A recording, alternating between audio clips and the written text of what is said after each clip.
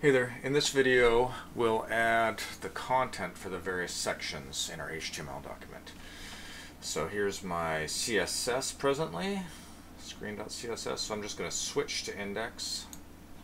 I'm just going to collapse that edge there. And the first section I'll modify is the header up here.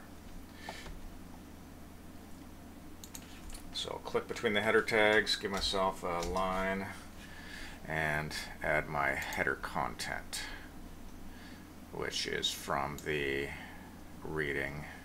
So I've already uh, entered it into a notepad session. I'm just going to paste it so you don't have to wait for me to type it. And there's our header. Now you'll notice that we have a class logo, so eventually we'll create that class in our CSS document to change the appearance of that anchor. And we also have a class for that div. Again, we'll modify that class to style that div. A reminder to do that in your reading. Make sure you save before you live preview.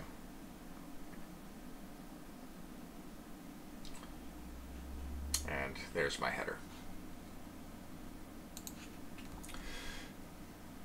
So the next thing I will do is um, add something to the main section. So if I scroll down here, I've got a section with the class main. So I'll just quickly add some content there as well. So we're going to put this inside of an aside, something like that. Can, uh, there we go, looks good. Now, um, I'm going to populate this with one sentence from lipsum.com. So I'll just quickly open up my browser, go to lipsum.com,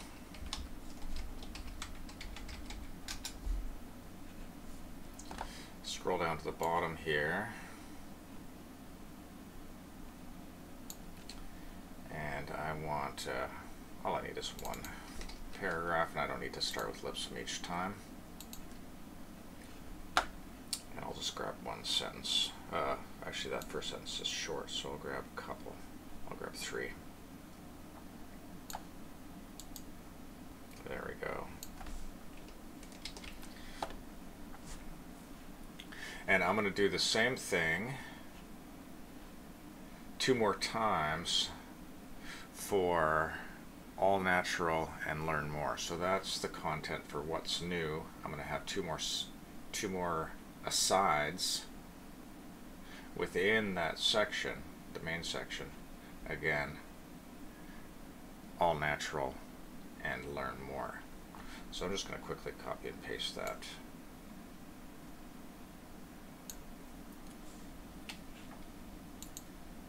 Control C for PC. Give myself an extra line and paste it. And I'll just change a little bit of the content there.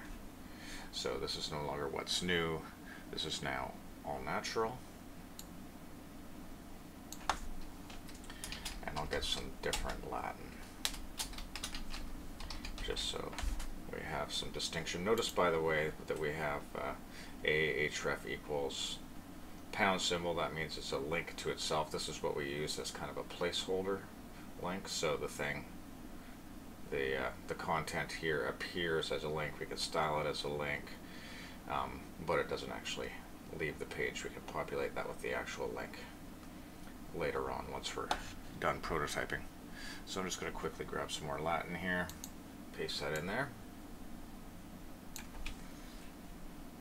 Control V is what I would use in real life, but I'm going a long way so I can be more deliberate. And finally, the learn more aside. Let me just get that back in the right spot. That needs to go back a couple. There we go.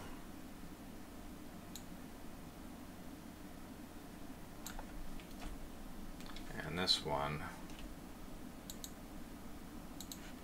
will be the learn more aside. Still inside of the main section. And paste that. There we go. And this is the learn more aside. And put that in there instead what I had before. So there's some distinction. There we go. And we can save it and take a look at it. So you can see what we have so far.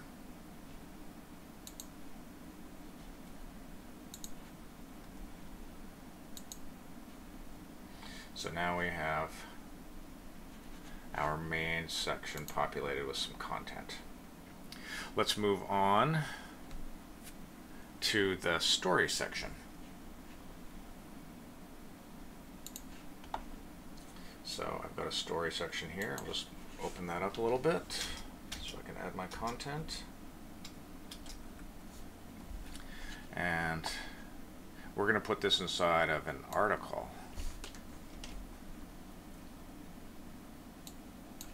Just indent that a bit. There we go.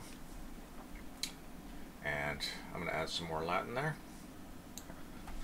And it's obvious what needs to be replaced with real content because it doesn't make any sense to us unless we know that Latin. And let's also add the info section. So there's a story section, again, inside of a, inside of an article.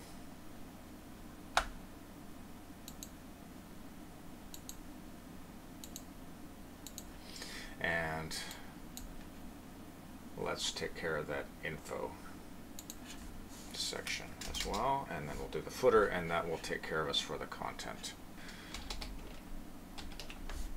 So there's an aside, so let me just push that over. There's some Latin there. Again, I'm going the long way, just to be more obvious. Realize in real life I would use Control V to copy and paste.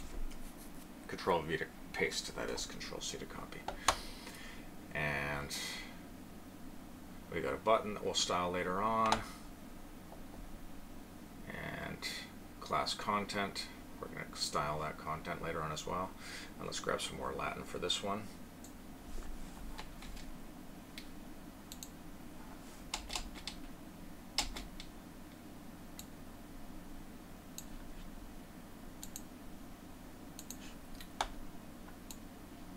And the rest of the code should be fairly obvious.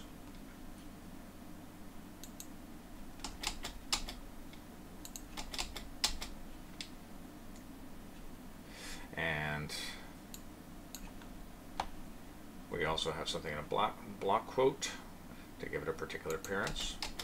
And again, I'm going to grab some more Latin. And Paste.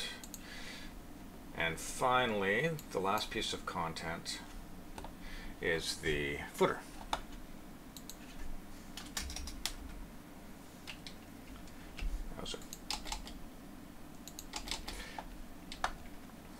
And we don't need any more Latin, so let's quickly save and take a look at what we take a look at what we have so far.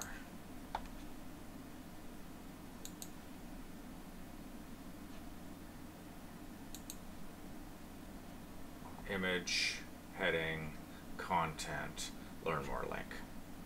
Very standard. Image, heading, content, learn more link. Then we have something in a block quote. We have a credit here. And then we have a footer here. All right, so that's all of our content added to our document. Um, in the next video, we'll style all of that. Thanks for watching.